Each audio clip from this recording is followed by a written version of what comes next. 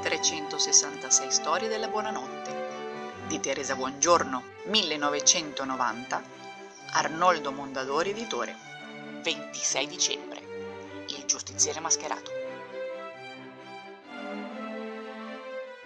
C'era una volta in California, agli inizi dell'Ottocento, un giustiziere mascherato che voleva liberare il popolo da un governatore tiranno.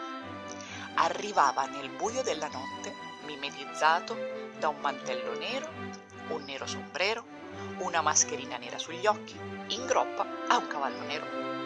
Lo chiamavano il zorro, che in spagnolo vuol dire la volpe, perché era rapido e furtivo e perché si firmava con una Z stracciata dovunque a fil di spada.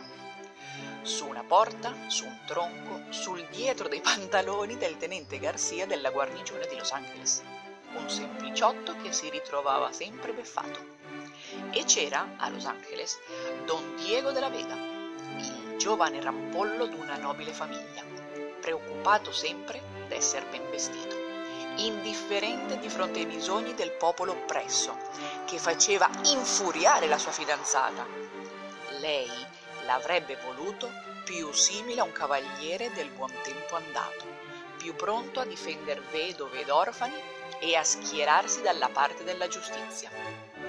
Nel segreto del suo cuore, la fanciulla amava il misterioso Sorro, che qualche volta aveva incontrato, magari mentre era intento a seminare i suoi inseguitori, cosa che non gli aveva impedito qualche galanteria.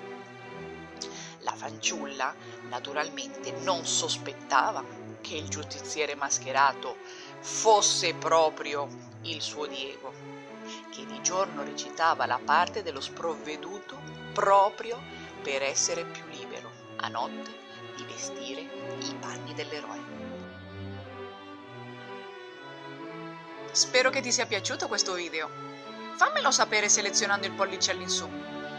E se ti iscrivi al canale di Libri da Camera, potrai ricevere le notifiche di quando pubblicherò ogni prossima lettura.